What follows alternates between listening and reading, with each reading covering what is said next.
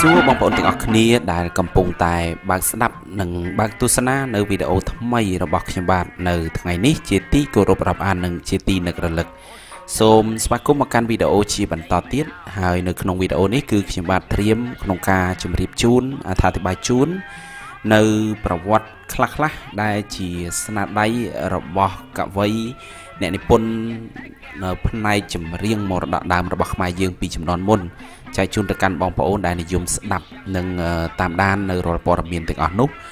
ជាបន្តទៀតហើយនៅក្នុងថ្ងៃនេះគឺលើកឡើងអំពីកម្រងបទចម្រៀងដែលជាស្នាដៃក្នុងសេរីកាសែតរបស់លោកគឹមសំអែលដែលមានជាបន្តបន្ទាប់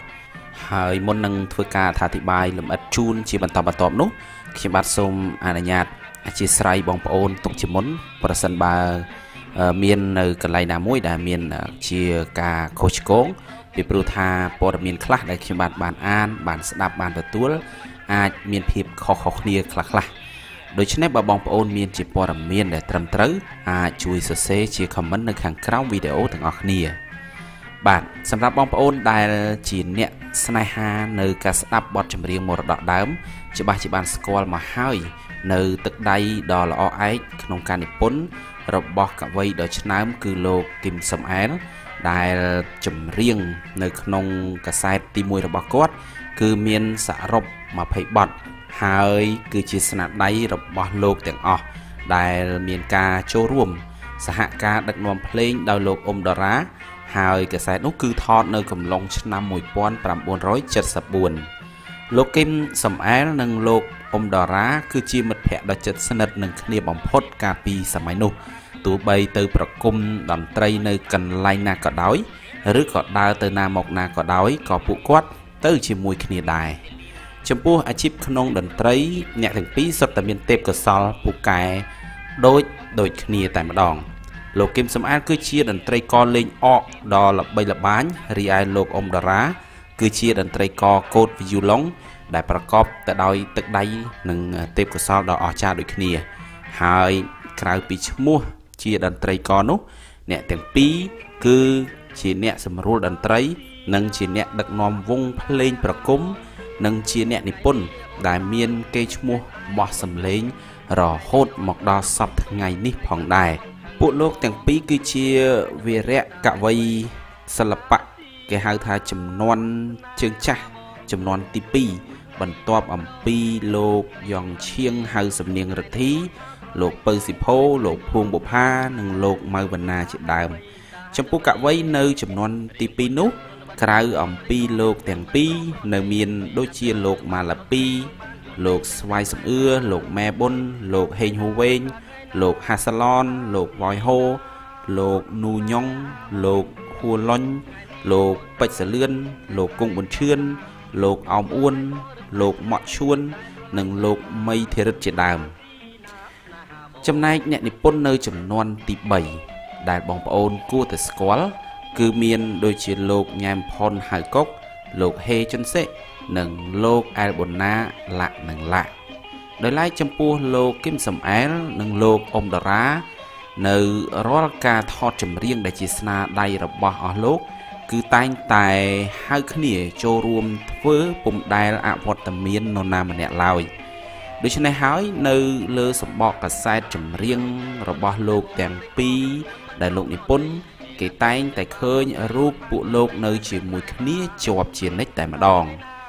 មកដល់ពេលនេះលោកទាំងពីរ គឺมันបានធ្វើការជាមួយគ្នានឹងឃើញមុខគ្នាទៀតឡើយ ហើយដោយឡែកសម្រាប់លោកអ៊ំតារានៅពេលនេះក៏លោកមានវ័យចំណាស់ចាស់ជរាទៅហើយដែរ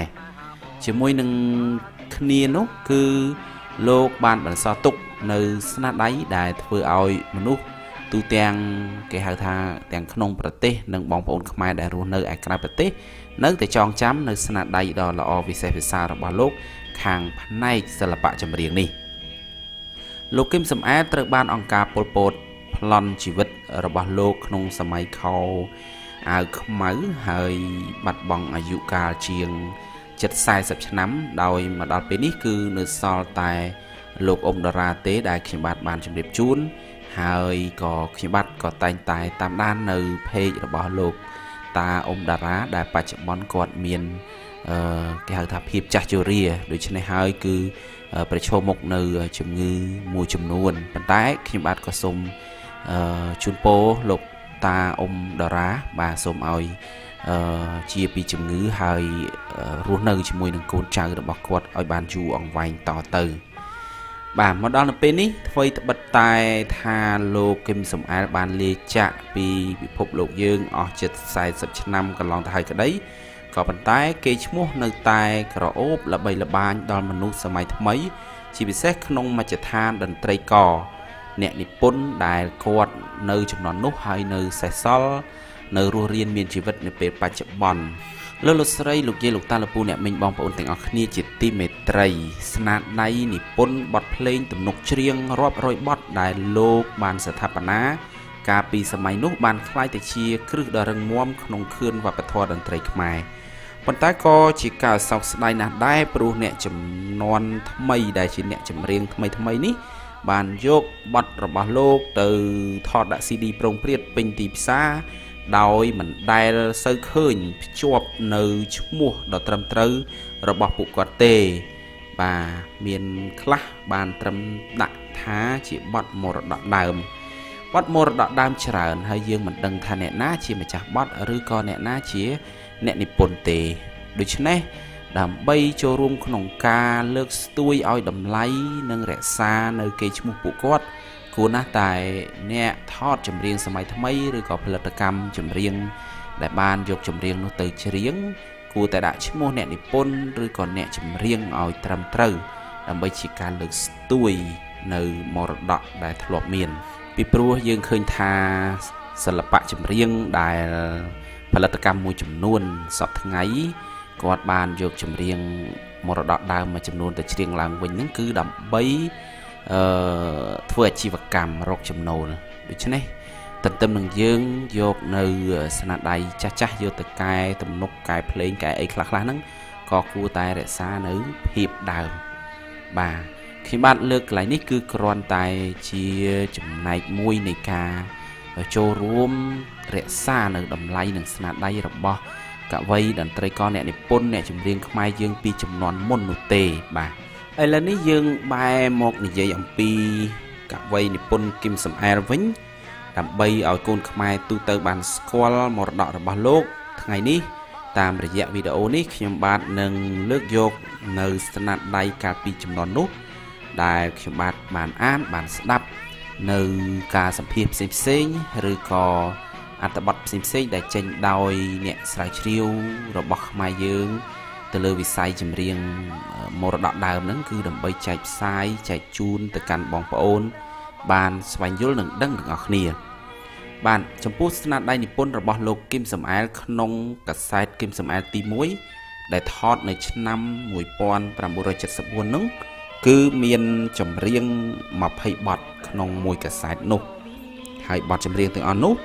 សុទ្ធតែបទពីរោះពីរោះហើយច្រៀងដោយអ្នកចម្រៀងល្បីល្បីតែម្ដង គឺលោកស៊ីនស៊ីសមុទ្រអ្នកស្រីប៉ែនរ៉នអ្នកស្រីរស់សេរីសុធាជាដើម បាទហើយក៏មានលោកមាសសមន និងលោកថេតសម្បត្តិជាដើមបទចម្រៀងនៅក្នុងកាសែតទី1របស់កវីគឹមសំអែលមានដូចតទៅ1បទចម្រៀងទួកោកទួលកម្មច្រៀងដោយលោកស៊ីនស៊ីសមុទ្រអេស្ប៉ាញូឡា ច្រៀងដោយលោកស៊ីនស៊ីសមុទ្របទបន្តអុញប្រុសនេះកោសោះជាសំនៀងរបស់អ្នកស្រីប៉ែនរ៉នសិតចាប់យំជេបបទចម្រៀងមួយបទនេះពីរោះណាស់បងប្អូនភ្លេងប្រគំបើបងប្អូនបានស្ដាប់បទដើមគឺនិយាយពីថាតិចចិត្តតិចអារម្មណ៍តែម្ដងបទសັດចាប់យំជេបនេះគឺច្រៀងដោយលោកស៊ីនស៊ីសមុទ្រនិងអ្នកស្រីរស់សេរីសុធាបទបន្តចិត្តតិចត្រីអាំងចិត្តខ្លាំងអំបិលច្រៀងដោយអ្នកស្រីរស់សេរីសុធា បទទី6ព្រមរំឬទេ ជាការឆ្លើយឆ្លងរវាងលោកស៊ីនស៊ីសមុទ្រជាមួយនឹង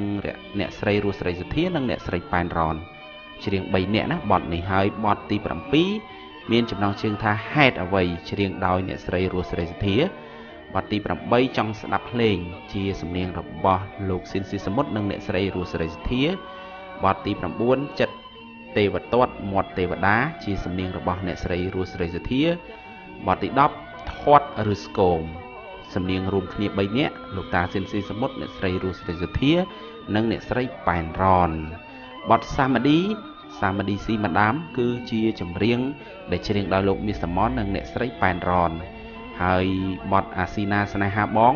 គឺច្រៀងដោយលោកស៊ីនស៊ីសមុទ្របទបន្តទៀតមានចំណងជើងថាប្រណីអូនផងច្រៀងដោយអ្នកស្រីរស់ស្រីសុធា